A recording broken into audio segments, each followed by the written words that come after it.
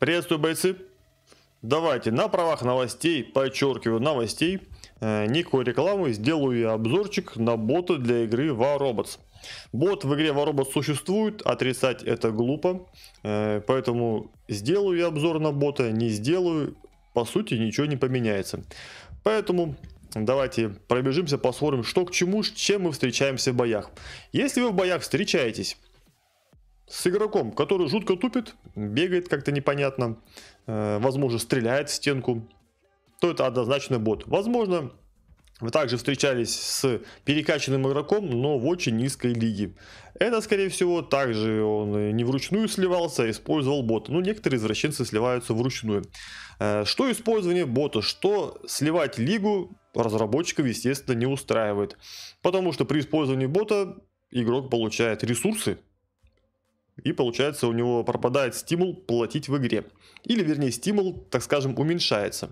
В общем, доходы у разработчиков могут упасть. Поэтому ни в одной игре ни одного разработчика использование ботов не устроит.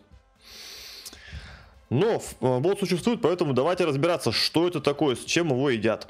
Итак, вы видели, чтобы использовать бота, используется он на компьютере. Э, бот работает, данный конкретно э, этот бот, работает в таком разрешении 1024 на 768 нужно точек вам поставить экран. Э, экран работает как на Steam, GameRoom, так и в принципе на эмуляторе Android. Главное, чтобы размер экрана, как я понял, одинаковый был. Я лично бота не использовал, поэтому чисто по комментариям и по видосам я сужу.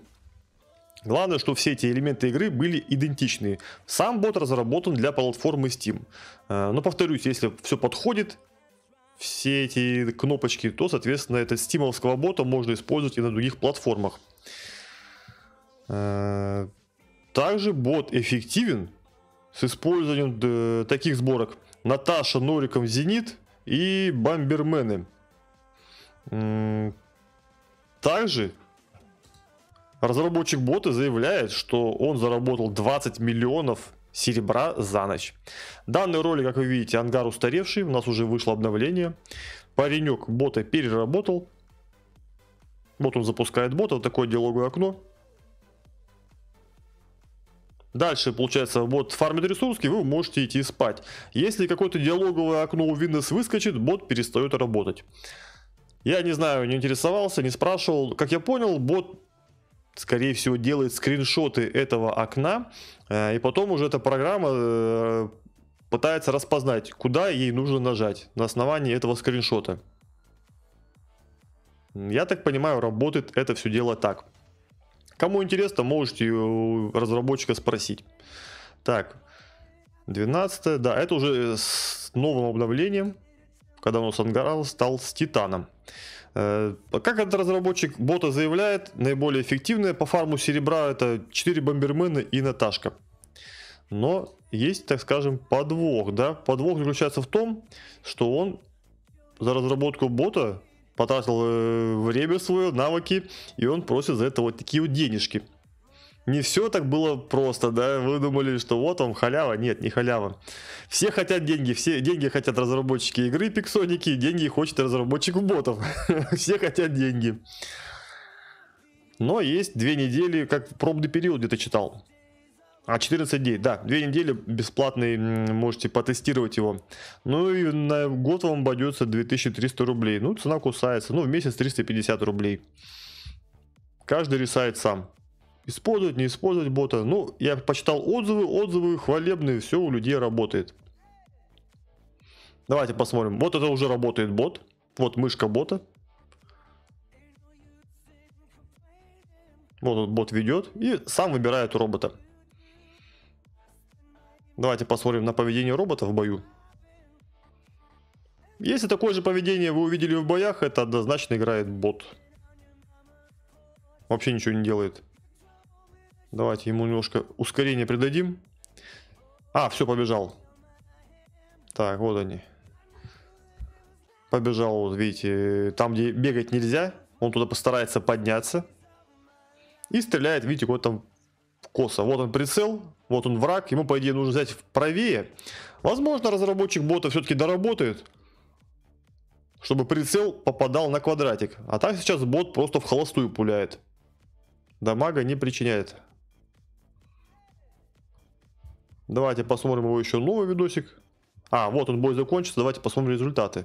Бегает, бегает, у него вот один бот окочурился. И сейчас бот выбрал другого бота. Тавтология получается, ну вы поняли, да? Бот э, игры выбрал бота в игре.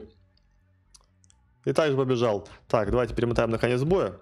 Как вы видите, команда, к сожалению, проиграла. Кто бы мог подумать? Угу.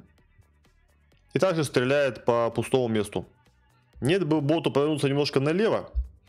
Также следует отметить, что в игре World of Tank также имеются боты. Но там бот играет на уровне среднестатистического игрока. Вы не поверите. Вот вы увидите геймплей э, бота, потом геймплей человека, и вы ни за что в жизни не отличите, где играл человек, а где играл бот. Там настолько умный бот. Ну и так, видите, с премиум э, бот заработал 144 тысячи серебра. Два ключа, клан минус 3, лига, что-то не написано, увеличилось, уменьшилось.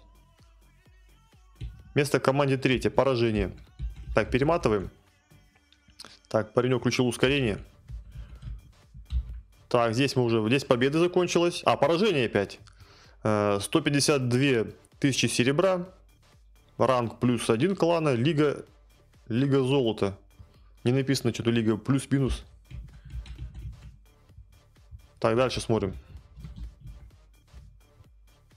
Вот такие у него странное перемещение.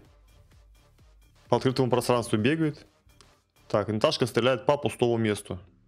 Ни влево, ни вправо не берет. Угу. Давайте перематываем, посмотрим, сколько в этом бою бот заработает.